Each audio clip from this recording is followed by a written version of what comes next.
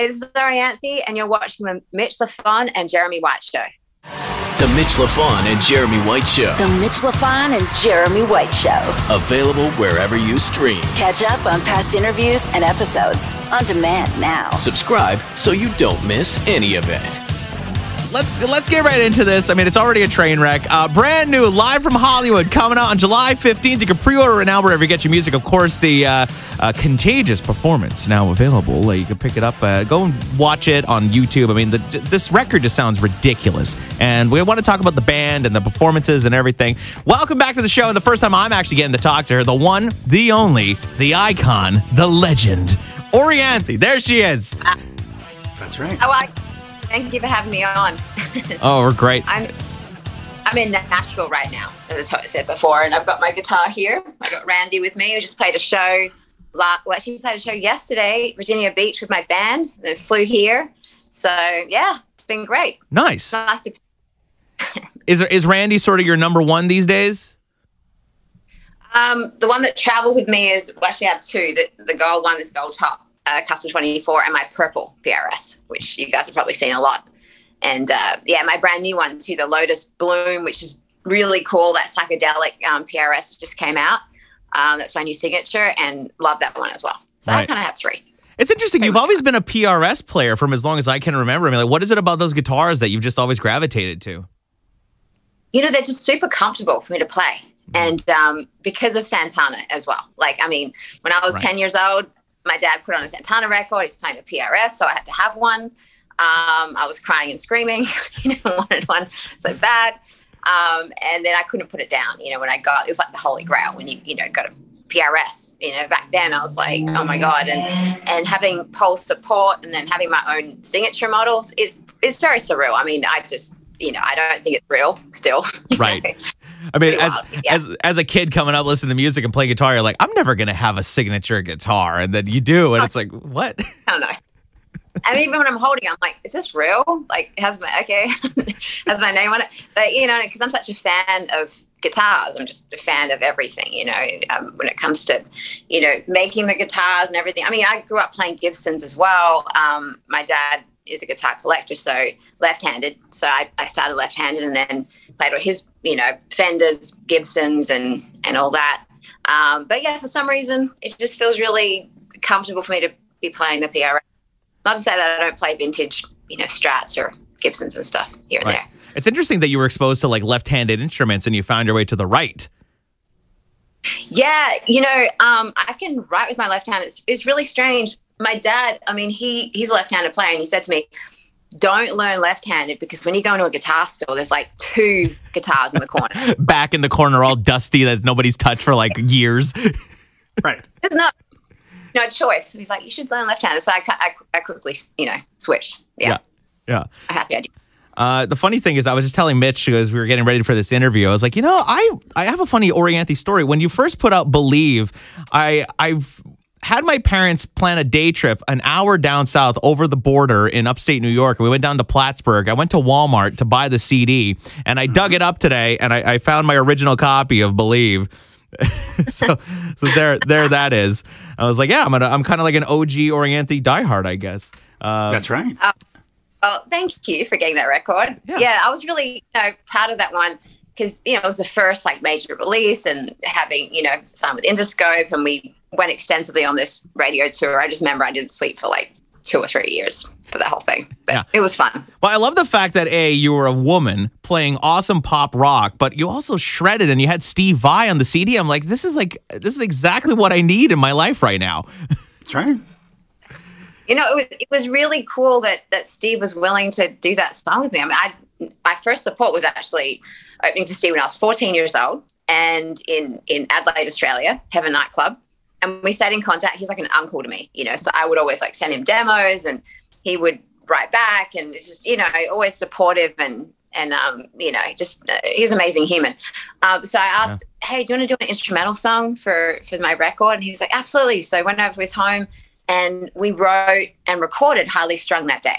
So he he had this riff idea, and he's like, "Let's go back and forth, make mm. it kind of wild," and and um, yeah, it just came together really fast. And the the, the guitars you hear on that are actually the demo guitars, the ones we just you know, put down that day. Oh, So, wow. Still writing it. So it really Yeah. happened really quickly in the studio. Like it was literally a one afternoon. Like, oh, let's do this song, crank it out. Yeah, yeah, in Steve's studio at his home, and and literally just walked in there with my guitar, and he was like, "Have this riff," and then we just went back and forth, and he recorded it. We tried to re-record it again, but it didn't sound right.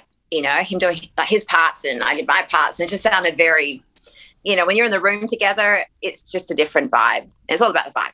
Yeah, So yeah, To- I- totally is. right. It's funny though. I mean, a lot of those times, those are some of the most magical performances. Right, the one off the cuff, sort of like first take, like with all the grease and all the all the schmut on it. Yep. yeah.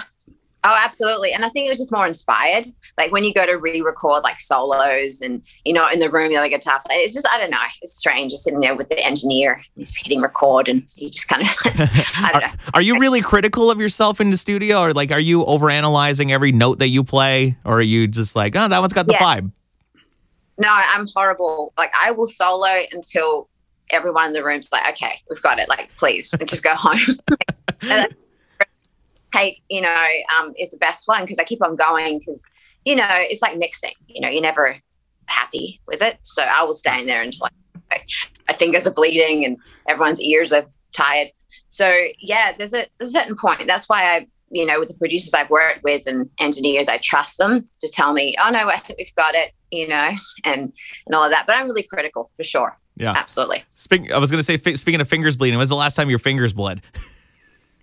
Um, not too long ago, actually, making the last record, we did at Rock Candy. Actually, we did it in 14 days. The whole album, Wow. wrote it, and, and um, yeah, you know, it's like when you're soloing every day. Like my fingers are always like you know cut up and bloody, and they don't look pretty. So I try not to Yeah. put them on film. Yeah, they're just you got to dig in, you know.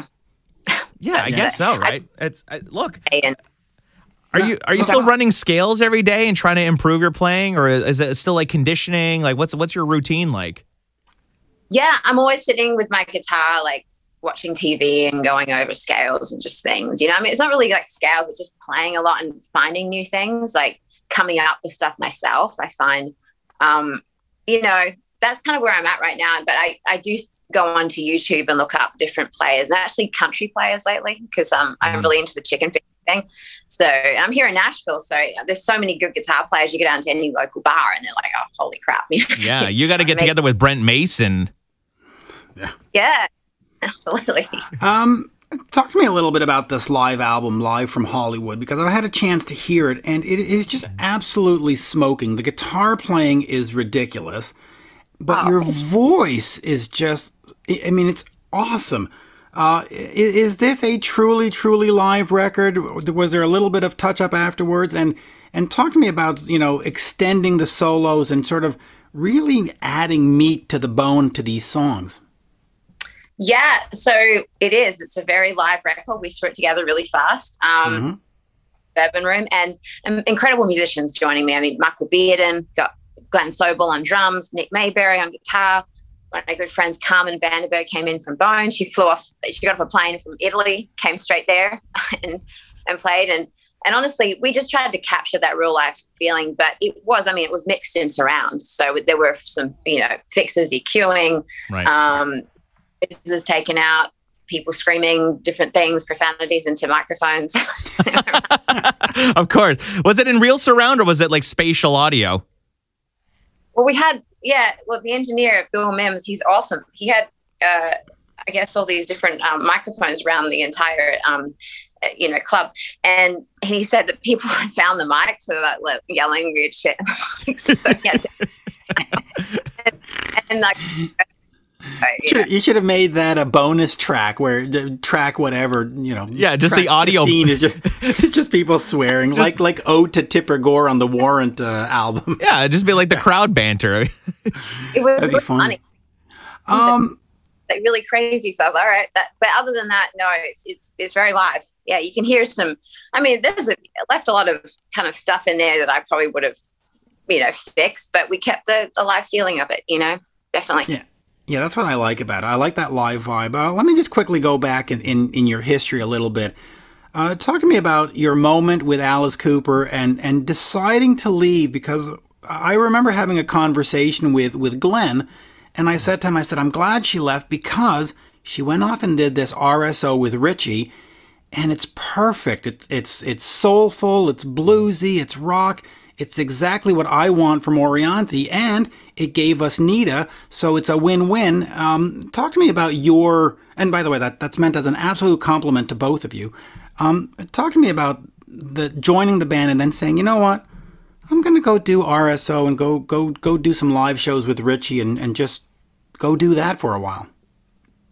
Yeah. So what happened? I mean, I was with Alice for about three and a half years mm-hmm. at that mm-hmm. point.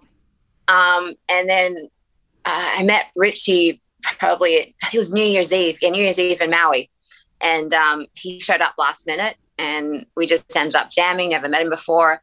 Um, and then after that show, he kept on messaging me, come over, come and jam, you know, let's hang out. So I was like, okay, that'd be awesome. So I did. And um, we actually just got together, you know, we were, we were dating first. Right. And then uh, I was on the road with, with Alice and then he's like, you know, I have this idea. Why don't we do a duo? And um, you know, put out a record together. So, um, and I was like, yeah, that sounds cool. And, you know, he had this whole plan. And so I, he said, but you got to tell Alice, like, you know, we got to do this full time, like kind of thing. So I went in and it was, it was hard for me, obviously, because I, Alice is like in this whole family, you know what I mean? Right. And, and that, so I went in and, and, I said to Alice, you know, I'm going to uh, join Richie for, for a bit and do this project. And, and uh, he was really, you know, cool and supportive of whatever, you know, I wanted to do. And uh, he's like another dad and Cheryl as well. Um, and uh, so yeah, we went and we made a record. It took about four years with Bob Rock, and then it just sort of came out, and then never sort of happened. and it just, you know, I don't know. So that that's that. But hey, we make good music. So well, listen, I still listen to it. I still think it's great. Yeah. So yeah, you know, yeah. Um, yeah, yeah. What what was it like working with Bob, our great Bob's, comedian? You know, it's Bob Rock. He's he's awesome. He's such a he's such a you know a drum guy as well. He gets the best sounding drums, the biggest sounding. I mean, it's epic stuff. You know, when he goes to EQ stuff and mic things, and I'm really into the engineering aspect of things as well and how things are recorded. So I'm a bit of a nerd when it comes to that. So it was really wonderful and an honor to, to work with Bob. Absolutely. What's something that you took away from those sessions that you now incorporate into your own daily sort of recording? I'm sorry. I said I was going to say, you know, what's something that you took away from Bob in those sessions that you put into your own recording style these days? Well, I mean, he just goes really like, you know, open and big with the choruses and just the drum sounds in general and the guitars and you know, it's just it's epic sounding. And um, yeah, he's just that guy. You know, all the records he's done. I mean, you know, it's incredible. So, yeah, you- um, definitely very inspired by you know, working with Bob for sure. You can't go wrong with the cannonball snare. I mean, come on, slippery when wet. What more do you want? Dr. Um, Feelgood. Right. Dr. Sorry. Um, where do you find yourself more comfortable in terms of a player? Do, do you find yourself comfortable in a situation like Alice or doing what you were doing with Richie? Or do you just prefer to be live from Hollywood? It's Orianthi, and I'm here I am. You know what? I loved working with Alice, and I, I yeah. love doing my you know what I mean? And I love being like and working, you know, when I work with MJ and just different, you know, performers like that and Carrie Underwood and when I get to guest with different amazing like artists and different genres and you just kind of just go with it, that's really fun for me. It really is. I, I really enjoy that. Um, but other than that, no, I really like, you know, being with my own band and, doing that kind of thing. Yeah, yeah. for sure talking about your own band and, and, MJ, I mean, you got to know Michael Bearden through the experience with uh, This Is It and everything, and now you kind of have him in your band on this record, which must be really cool to be sort of his boss this time. Right, and he wrote for for some songs on the on the RSO record as well. Good dude. Yeah, he's he's amazing. Um, you know, Michael has been, you know, since you know calling me up to join this is it. He has been like a brother to me and just a mentor and just someone who I call up all the time for advice. And, and we've written a lot of songs together. He wrote some new ones too uh, for future stuff. And, and him to come in and play the bourbon room with me as well with Glenn and all that is just really an honor and, and wonderful. He's an incredible, incredible human and, and musician. So yeah. yeah from a musician standpoint, it was really cool because uh, this is it. I mean, that movie when it came out, of course, I mean, unfortunately, he passed away and everything, and it was in like such shitty circumstance. We got to see that behind the scenes curtain pulled back on the creative process. It was almost like a musical awakening for me. And it was like there were so many revelations to see how involved he was in the process, even musically with the arrangements and the keyboard sounds. Did you have that from Michael, like with your guitar playing and your tone? Like, did he say, oh, you know, it needs to sound like the beat it guitar tone, or you need that clean, funky totally. sound? Yeah, totally. I mean, I had to change my amps a few times. Um, I called up Paul and I'm like, Paul, we gotta get a guitar that sounds kind of like a Strat PRS because he wants to hear the funky parts, but I couldn't use Strat. So there were a lot of things that he attention to detail. I mean, he heard everything. Um, and you know, it, was, it came down to the dancing, our outfits, the way just everything. I mean, it was um, a full on insane show, epic proportions, you yeah. know. And he just, um, you know, Swarovski crystals and everything as well with giant spiders. And there's a lot of stuff going on, you know, and and it was incredible just to be able to work with him for I think it was like two or three months, something like that. Right, um, yeah.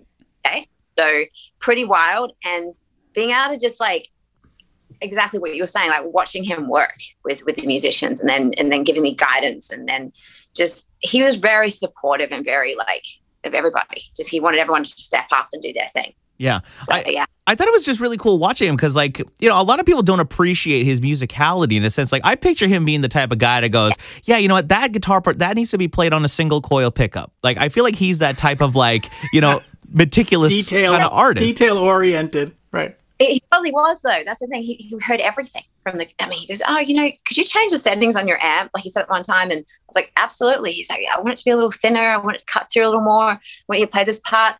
And so, yeah, I mean, it was it was great, and working with Bearden and everybody. I mean, just seeing uh, Jonathan Moffett. I mean, what a great Sugarfoot! What an incredible drummer. I just did a session with him the other day for his album, so that's pretty oh, nice. wild what he's doing yeah, he's awesome. Do you still have all your old gear from like This Is It, like sitting around? Do you still use any of it?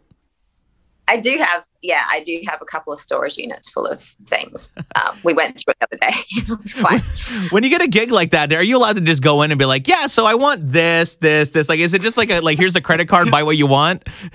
Oh, Free yeah. shopping. Well, the thing is, having the support of all these different companies that come in, and of course, you know, they, I've got so many different amplifiers. I've been through different, you know, with different companies from from Marshall to EVH to you know all of that. So yeah, I do have quite a few, um, and plus uh, amps I've bought as well over the years. Um, there's a lot between like here in in America and Australia. Um, yeah, a lot. Right. Um, in terms of just, uh, in fact, I'm going to ask you this in passing. Uh, since you worked with Richie, uh, of course, Alec John Such passed away recently. Uh, yeah. you ever had a chance to meet him or talk to him, or, or do you have any thoughts about him? Yeah, I mean, what a great, great bass player and sweet person. I met him at the Rock and Roll uh, Hall of Fame, and he was really sweet. I remember just him coming up with his girlfriend at the time, and, and just we just sat there and spoke with him and Tico, and he was very just sweet, you know, right. and such a shock, like you know, hearing that yesterday. So bless him, you know. Yeah. Yeah. Absolutely. Um, in terms of uh, the future, the the live album comes out in July. Mm-hmm. What's our plan? Do we do we head out on the road extensively? Do you just sort of do a few shows and then back in the studio? Where are we going from from this point on? Well, Rock Candy's coming out in, I believe, well, we're shooting the music videos for the first two singles right. next week. Okay. So that's going to, um, and then we're looking at touring Asia. I've got like a whole tour there set up. Um, and then obviously here in the US as well, in Australia and all that, just putting it all together. But it's been, I've just been in the studios like so much, like getting this, you know, DVD done, just setting everything up with a label. And, um, and yeah, so there's a lot of things, a lot of plans for, uh, for some shows and, and festivals over in, you know, Europe as well too. It's gonna be really fun. Oh, that's great, and and you know it's it's great to to see that Glenn Sobel's on this because he's such a great drummer, and and of course uh, what he does with Cooper is just fantastic. Um, in terms of um, uh, uh, the the the Rock Candy record, when does that come out? Um, I believe the whole album comes out end of July, August. I think. so I don't know the exact date, but um, yeah, pretty sure around that. Yeah. Right. So soon next couple of months. But the singles are coming out before that, obviously. Sweet. So I don't. Yeah, yeah, and the and the DVD is coming out the fifteenth, I believe. This. Mm. Yeah. Is it That's still going to be? I was, uh, is it still a DVD market, or you go to like Disney Plus or Amazon and try and sell it to them? Like, oh, here's the streaming concert. Like, because I'm still Well, a physical product guy. I still love going to the store and buying my Blu-ray, but you know, Right. Well, that, I- I was wondering about that because I don't know who really owns DVD players. They told me. I was like, "Hey, you know, go on to eBay and try to, you know, yeah. um, hey, I guess people do, and that's the thing. So we we did it, and yeah, people, and we went number one in Japan. Mm. Really, really cool on the pre-orders, um, and so yes, I think people in Japan own DVD players. Hey, I still own my Blu-ray and DVD. I got. Uh, I'm getting my 4K one. Uh, I'm upgrading all my uh, my whole collection. So you know, I'm one of those nerdy guys. Yeah, no, I do have a DVD player. I think I believe it's in my storage somewhere. So I'm gonna I'm gonna find it and watch it. It's next to like a Palmer speaker simulator somewhere in her like uh, in her storage unit. Oh yes, Yeah. Um, i- i- just real quick, uh, and I, and I know this is the typical question that you always get, but in terms of influences, because when I listen to you play, I don't hear, oh, that's an Eddie Van Halen move, or oh, that's a Michael Shaw. I don't hear that. All I hear is Orianthi. But where did you get your inspiration from? Who are your players? Well, thank you. I mean, I listened to a lot of like BB King uh, Right. when I was young. Vibrato that drove me crazy. I remember my dad put on um, Thrill Is Gone, and it was BB and he had his three three five, and he was like hitting just one note that Mm. vibrato, and it took me forever to try to get it. And when I did, I was like so excited. Um, and so he was a main. He was the first guitar lead guitar player that I listened to, and then Mm. um, I listened to a lot of like Roy Orbison, the Beatles, Elvis. When it comes to songwriting, um, you know, Fleetwood Mac, um, Bonnie Raitt, Eric Clapton, um, definitely Eric Clapton, and obviously, I mean, Santana was the main influence for me. Definitely Gary Moore. Um, wow. You know, a lot of I'm just and Freddie King. I love Freddie King, Albert King. Um, my dad just had a great record collection that he. I, I felt like I, I grew up in a time warp because all the other you know kids were listening to top 40 like backstreet boys or new kids on the block or something and i was listening to like bb king stevie ray you know all of that good stuff and and um john mclaughlin as well um god al Meola. there's so many that i, I listen to and and you know learn off of, well try to learn Yeah, it really was. Bonamassa. It really was like the boot, like the blues based players then for you. Right. Yeah, definitely. Blues was the main thing for me. And then um, Latin rock with Santana. So he kind of blended it all. It's kind of this fusion Yeah. thing. Um, I loved. So um, yeah, I didn't really get into the whole like shredding thing until it's funny enough, I was reading the articles in Guitar World, Guitar Play magazines about Steve Vai and Joe Satriani and then, you know, Ed Halen. And I was like, okay, well, I should probably get into that, you know, and start like listening to it. So, um, and that was just before I, I got the call from my manager at the time that I was going to open for Steve Vai. And so I was like, oh my God, this is crazy. So, you know, it's pretty, um, it's pretty wild. I mean, all the different, uh, there's endless possibilities with the guitar. That's the cool thing about it. Yeah. different sounds, tones, and things you can blend. I mean, Jimi Hendrix, I should say that was he was a huge influence for me. Just blew my mind when my dad put on Band of Gypsys and Woodstock performance, and you know, I was like, wow, there's just so many different colors. And he just went on tangents like John John Coltrane or Wayne Shorter. You know, the way they sort of play, right? Like that's the way that Jimi would kind of take us on this journey. It was almost like jazz fusion, but it was rock and it was blues, and it was just no one had ever, you know, seen it or heard you know, guitar played that way before. Well, that's So what I was going to say. It was it was so innovation innovative because nobody had ever heard this before. It really was a journey when you heard it. incredible. The live record with Buddy Miles, I mean, that I listened to on vinyl and it's insane. But I listened to it, I was like, wow, because you feel like you're in the room Yeah, and I love that. all those organic sounding recordings, just like in the room. So, so how was it then when you get to Alice Cooper in terms because it's it's definitely not that kind. He's not a blues based rocker. Was it strange for you? Did you learn something from him and go, oh, okay, Yeah, was it new. was it difficult from a technical standpoint to go from blues to be a little shreddier? Not really, no. Is actually because you know Steve Hunter was in the band when I first joined. He's kind of he's got some bluesy, you know, his his uh, the way he his phrasing is, is amazing. I didn't even want to play. I wanted to just Steve play. sitting and watching Steve? Yeah, Well, it's true. You listen to the '80s and late like or late '80s, early '90s Cooper, and it's got that '80s sound. But the early Alice Cooper band stuff, like there's a lot of bluesy, cool stuff going on. right. There but- is, and then you got Halo of Flies, which um, is a nine minute kind of orchestrated. Yeah. I, I think Alice said that the guitar players were all on different drugs, so they were just trying. it was like this crazy thing, um, and they orchestrated, it, and it's nine minutes long. So for me, it was just retaining, like just to memorize the part. Not that it was hard for me; it was just remembering the parts, right? Yeah. And and and not get bitten by a python or squashed by you know Frankenstein or But you, you see, this is why I thought when you went off and did the the shows with Richie, when you go to YouTube now and you see, you know, the band you and, and Richie doing "Wanted Dead or Alive" or "I'll Be There," there's that bluesy rocks influence, and you just bring something to those songs where they just take on a whole new life. And you, as a fan, I just as a fan of Bon Jovi especially, I go, "Wow, that's a that's a new twist. Way to go!"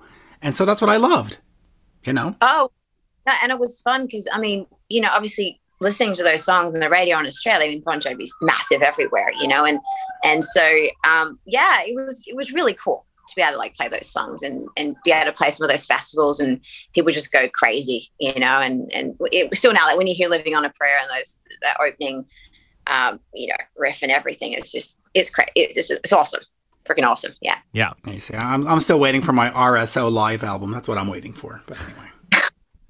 Yeah, who knows what you know and that's the thing it's like when you create music together and, and you know your friends and, and you just kind of go okay well this is you know you're just really proud of it you know we spent a long time on that record with with bob and honing in on the songs so um yeah it's you know you just life i mean you just all these different like journeys you kind of find yourself on it's it's pretty awesome Yeah. Hey, great song, great album. Anyway, uh, Jeremy, Yeah, look, I mean, live from Hollywood, coming out July 15th. You can pre order it now wherever you get your music. Of course, you can uh, buy the CD, the vinyl, the DVD.